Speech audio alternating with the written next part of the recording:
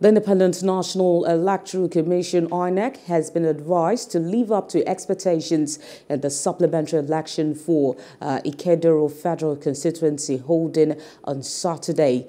The Labour Party candidate for the supplementary election in uh, Federal Constituency of Imo State, Uche Ogbuagu, who gave the advice, said the Commission will be held totally responsible for any lapses that will prevent free, fair and credible supplementary election.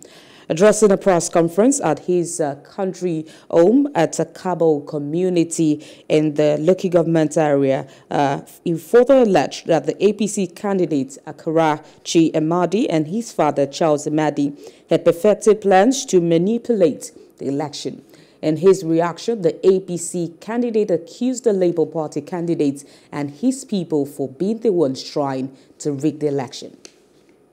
In that concern which I raised, I had int intimated them of the despicable acts of, intimidate, of intimidating the peace-loving people of Mbaitoli and Ikeduru Federal Constituency by thugs, hooligans, cultists who were armed with high-caliber ammunition, among other dangerous weapons, and were asked by the operational leader, Charles Amadi, to maim and disrupt voting processes, cut away voting materials, kidnap elect elect election uh, officers, and burn down polling units wherever APC is low.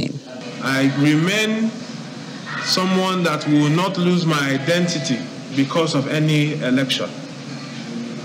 I have a lot of elections to run because I have a lot of age on my side. So I will not resort to intimidation of the public through any means. I believe that our security agencies have been doing a good job. Hello. Hope you enjoyed the news. Please do subscribe to our YouTube channel and don't forget to hit the notification button so you get notified about fresh news updates.